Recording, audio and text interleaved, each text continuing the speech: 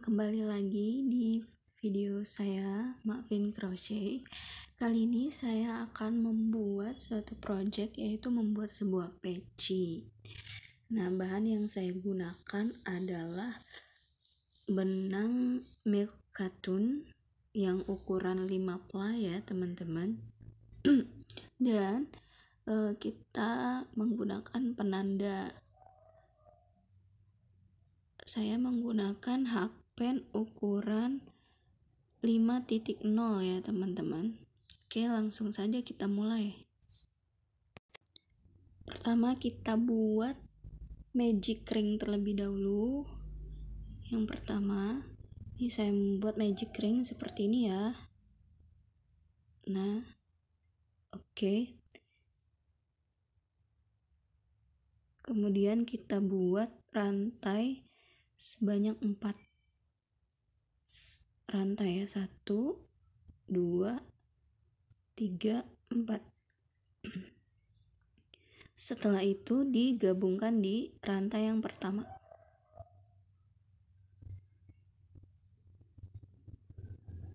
Oke kemudian di slip stitch. Nah setelah kita buat magic ring kemudian kita uh, round yang kedua kita buat satu double crochet dan satu chain itu sebanyak enam kali. Nah untuk yang pertama kita buat dua rantai terlebih dahulu ya. Satu dua. Kemudian ini anggaplah satu double crochet kemudian ditambah satu chain ya. Jadi tiga rantai dulu ya. Oke kemudian kita buat satu double crochet di lubangnya ya oke. Seperti ini ya teman-teman. Masukkan.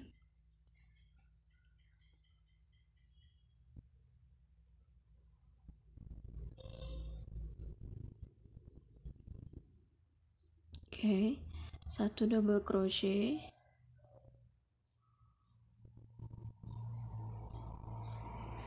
Nah. Dan satu chain nah kita buat sebanyak enam kali. Jadi yang tiga rantai ini dihitung satu ya. Nah dibuat enam. Jadi enam baris eh, enam kali ya. Oke ini kita sudah membuat satu double crochet satu chain sebanyak enam kali. Kemudian di round yang ketiga kita buat satu increase, satu double crochet dan satu chain. Maksudnya satu increase itu nanti dibuat dalam satu lubang yang sama itu dua double crochet kayak gitu. Kemudian satu double crochet di lubang yang selanjutnya, kemudian satu chain sebanyak enam kali teman-teman seperti ini ya kita contohkan ini kita buat ini dulu e, seperti biasa yang awal kita buat dua rantai. Nah, ini kan ada lubang yang di sini kita buat uh, jadi increase. Jadi uh, satu dua rantai ini udah hitung satu double crochet. Kita buat satu double crochet lagi. Nah, ini namanya satu increase ya. Kemudian di lubang yang selanjutnya yang di sini itu kita buat lagi satu double crochet satu double crochet oke. Okay. seperti itu kemudian kita buat satu chain satu chain oke okay, dah. Nah selanjutnya dibuat di lubang yang berikutnya. Kayak yang seperti ini ya. Ini lubangnya kita isi satu increase yang ini. Kemudian yang lubang yang ini yang ini yang ada ininya double crochetnya kita buat satu double crochet. Kemudian kita ambil satu chain. Nah berikut uh, berikutnya sampai pengulangan enam kali ya teman-teman. Sampai enam kali kemudian di slip stitch di bagian akhir. Seperti itu. Oke seperti ini jadinya. Nah selanjutnya di round yang keempat kita buat satu increase satu increase satu double crochet dan satu increase. Tapi yang pertama kita awali dengan satu increase dulu kemudian satu double crochet. Nanti yang berikut berikutnya baru satu increase satu increase satu double crochet satu increase. Kayak gitu ya teman-teman. Ini kita mulai. Ini kita awali seperti biasa dengan dua rantai hitungan udah satu double crochet ya. Nah jadi kan satu increase ya. Jadi kita gabungkan di yang eh, rantai eh, di lubang yang sama. Jadi hitungannya satu increase. Oke satu. Kemudian nah ini kan ini hitungannya lubang satu ini dua ini tiga. Jadi tiga ya maksudnya nah yang di kedua ini kita isi dengan satu double crochet dulu. Satu double crochet. Kemudian kita isi yang lubang yang e, ketiga di baris yang ketiga itu satu increase.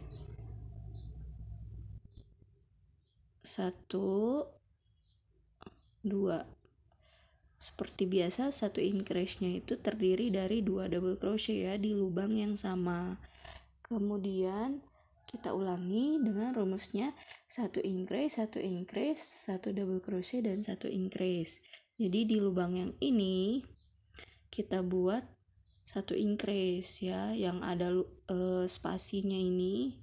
Kita buat satu increase oke ini satu. Nah kemudian di baris yang selanjutnya ini kan yang ada tiga baris ya. Nah jadi ini kita buat yang pertama ini satu increase juga. Satu dua. Nah oke. Okay. kemudian di yang tengah yang kedua ini kita buat satu double crochet hanya satu ya. Nah kalau yang satu increase kan dua double crochet ya. Yang terakhir kita buat satu dua dua double crochet tanpa chain ya. Jadi seterusnya sebanyak enam kali. Sampai ujung ini nanti di slip stitch ya. Oke di round yang kelima kita buat satu double crochet dan satu chain. Sebanyak 21 kali. Oke, yang pertama kita buat dulu. Dua rantai, kan dua rantai, satu double crochet dan satu chain.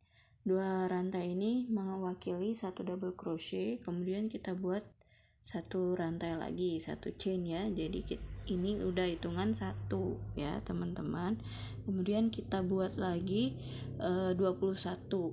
E, caranya ini sebanyak 21 kali kita e, langkahkan satu baris jadi yang ini kan hitungannya satu ya ini hitungannya satu nah yang ini yang kedua ini kita langkah kita isi di baris yang ketiga gitu. Oke. Nah satu double crochet satu chain.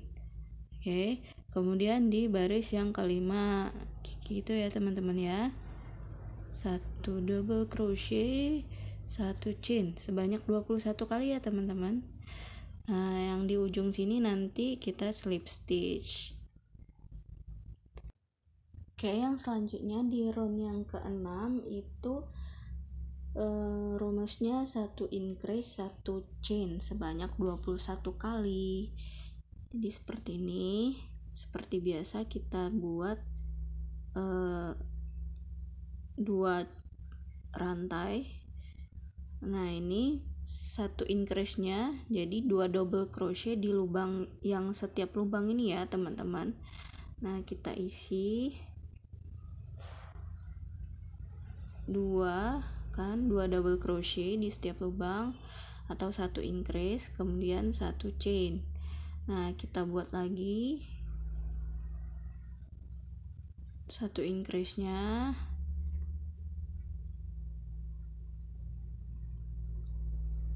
Satu chain. Nah, begitu seterusnya sampai 21 kali. Sampai di ujung kita slip stitch ya. Oke, di round yang ketujuh kita buat 3 double crochet dan satu chain di setiap lubang ya, teman-teman. Di sini ya. Nah, kita buat 3 double crochet, kemudian satu chain, kemudian 3 double crochet lagi sebanyak 21 kali nah kita mulai ya ini saya mulai di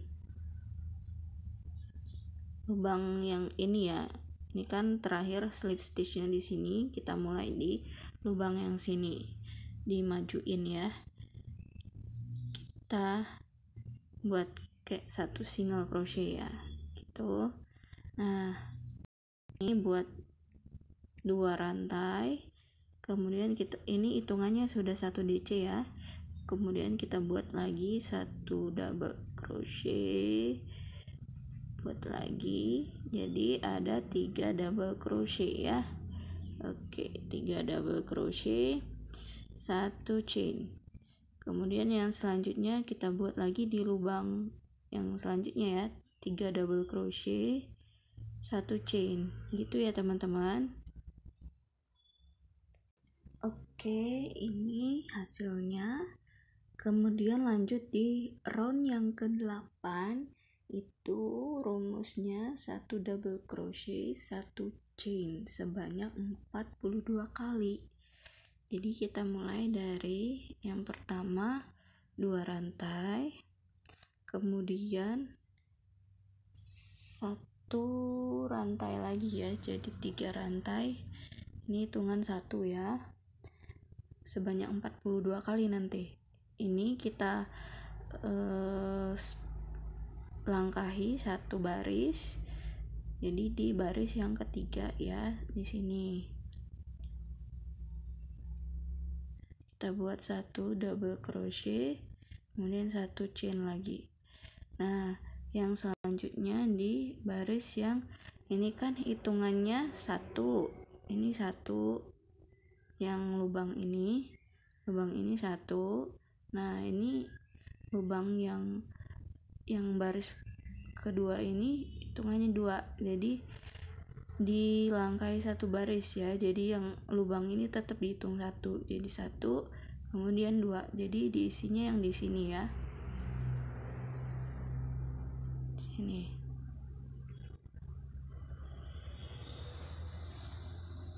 Satu double crochet satu chain. Nah selanjutnya kayak gitu juga ya teman-teman. Langkahi satu buat kita di lubang yang selanjutnya. Kemudian sat, buat satu double crochet satu chain. Nah ini uh, di lubang ini kita buat di yang ujung yang di sini ya. Pokoknya uh, setiap ini dilangkai satu buat sebanyak 42 uh, eh, double crochet ya. Jadi 1 2 3 sampai 42 kali. Uh, nanti di slip stitch. Oke okay, kalau untuk anak-anak uh, untuk alasnya ini alas top uh, patchingnya ini cukup sampai round yang ke 8 ini ya. Untuk anak-anak yang usia satu tahun satu sampai uh, lima tahunan lah. Ini uh, roundnya sampai sini aja. Terus nanti ditambah dengan badan badan pecinya ya. Nah, kalau ini saya akan membuat peci dewasa yang ukuran e, lingkar kepala 55 sampai di 58 cm. Karena benangnya ini kan e, lembut dan bisa melar ya. Jadi bisa untuk ukuran 55 sampai 58 cm seperti itu. Nah, ini sudah round ke-8. Selanjutnya round ke-9 kita buat uh, satu increase dan satu chain di setiap lubangnya ya sebanyak 42 kali oke kita buat ini kita buat dulu dua rantai kemudian satu rantai lagi. Ini hitungan satu double crochet ya. Kita buat ini satu increase ya. Jadi oke maaf ya. Ini jadi dua dua rantai aja karena kita buat satu increase. Ini dibuat dua double crochet di lubang pertama satu increase itu dua double crochet ya kemudian satu chain kita buat lagi. Satu increase nya terdiri dari dua double crochet. Satu dua double crochet kemudian satu chain lagi. Selanjutnya diterusin sampai ujung kemudian di slip stitch. Oke. okay. Oke ini sudah di round yang ke 9 kita buat round yang ke 10 1 DC 2 chain sebanyak 42 kali ya teman-teman. Oke ini alasnya udah seperti ini ya. Oke kita buat satu double crochet. Kita buat rantai dulu ya. Dua rantai dan dua chain jadi dua rantai lagi jadi empat rantai kalau yang di awal. Kemudian kita langkahin. Ini kan ini anggaplah dua ya di sini ya. Nah kita langkain kita isi yang di lubang ini. Nah satu double crochet. Kemudian dua chain. Oke. Nah kita langkahin yang ini kita isi di lubang. Lubang ini ya. Oke. Satu DC dua chain nah isi lagi di lubang berikut berikutnya ya. Yang ini sampai 42 kali nanti ketemu di sini kemudian di slip stitch. Oke.